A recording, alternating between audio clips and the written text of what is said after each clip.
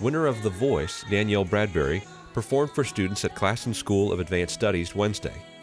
The season four victor is visiting five schools across the country as part of the Music First in Our Schools national bus tour. The Give a Note Foundation and Disney Performing Arts launched the tour to highlight the importance of music education.